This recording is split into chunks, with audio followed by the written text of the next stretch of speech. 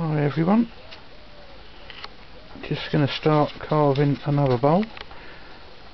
I've just roughed it out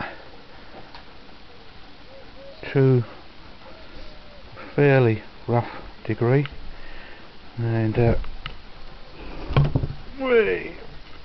as you can see still loads to carve but it'll end up like the other bowl I did earlier a nice bowl.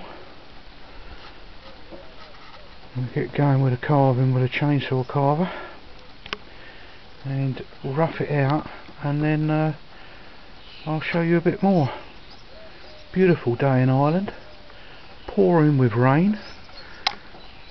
Underneath cover here so it's not so bad. And uh, keeps you busy when it's raining that's for sure. There's another great big chunk of wood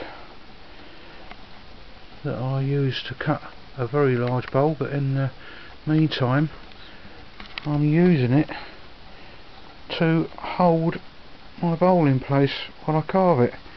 It makes